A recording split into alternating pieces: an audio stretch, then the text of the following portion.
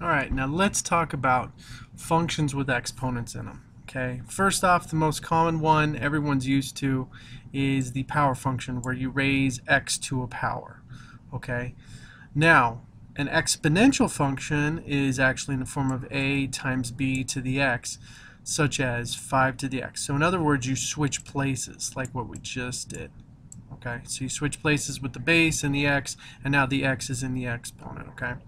Now there's a couple of unique kind of uh, exponential functions. There's the function that is exponential growth or decay.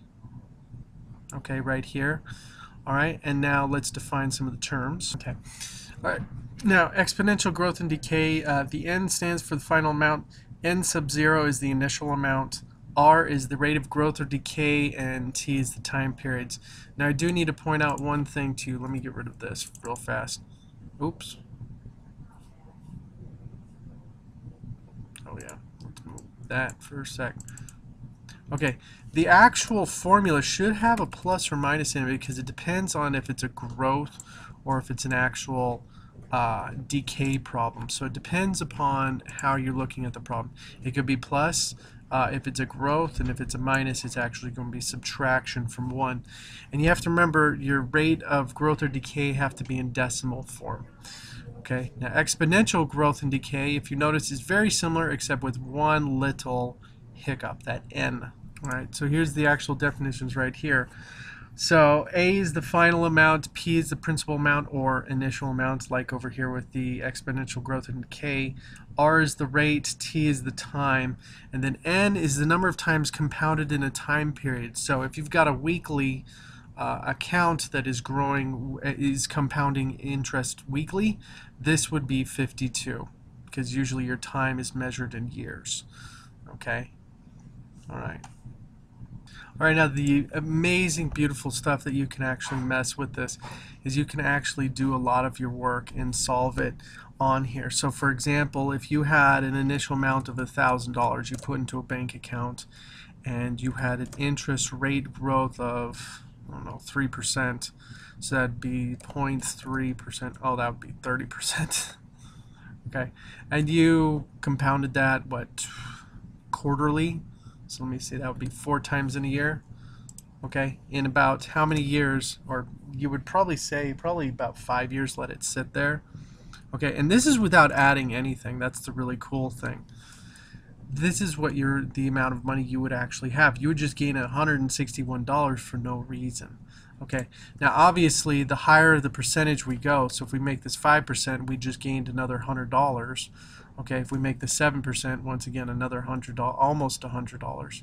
Okay, if we make this 10, this is things growing really fast. So it just depends upon the percentage that you're working with. Now if we go smaller, obviously it's going to grow a lot less faster, but it's still going to grow at an exponential rate. Now here's the cool thing, if we actually increase this to about monthly, let's make this 12. Okay, if you notice I'm doing this, I'm raising it to the power 60 times. Okay. Alright, as you can see, it doesn't grow as fast, but it's still getting there. So if I increase my rate, it's going to increase quite a bit. And as you can see, this is $3 more than before when I was just doing it quarterly. Okay, so it just depends upon how you want to put everything in and how you want to work with everything, okay? Uh, the, the awesome thing is that you can set it up like this and just have it be all concise and explained in Desmos that is just really nice, okay? All right. Now, if you wanted to graph some exponential functions, just make sure you have uh, the x in the exponent. Make sure that the exponent cursor is up here. Okay.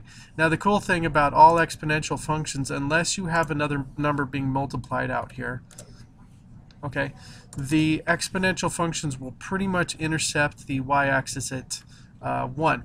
And why is that? Well, 4 to the 0 is definitely going to be 1. Okay. Now as you can see, the more I change this base, the steeper it gets. Okay, you probably can't see it as well. Let me zoom out a little bit.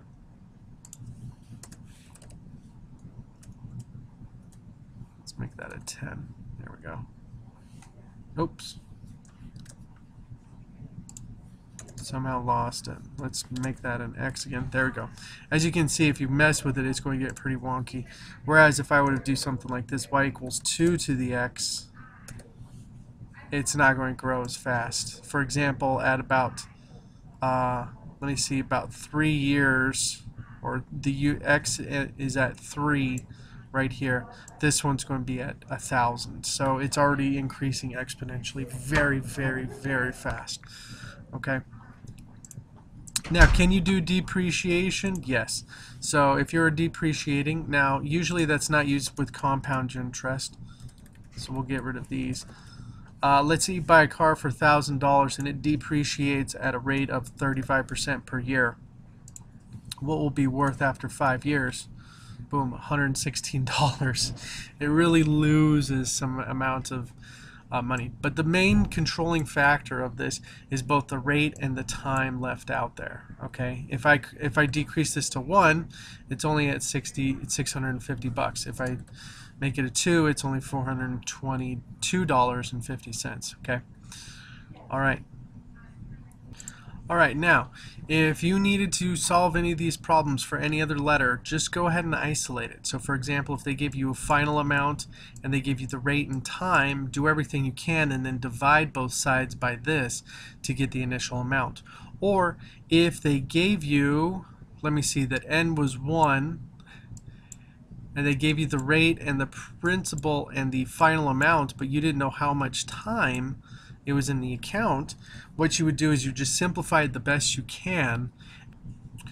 And then what you would do is normally you would think, oh, I raise it to the 1 over t power.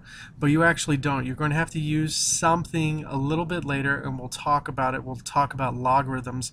You'll have to use logarithms to solve this type of problem. So if your missing exponent in these type of problems is in the exponent, I'm sorry, you're missing variables in the exponent, you're going to have to use logarithms, which we'll learn later.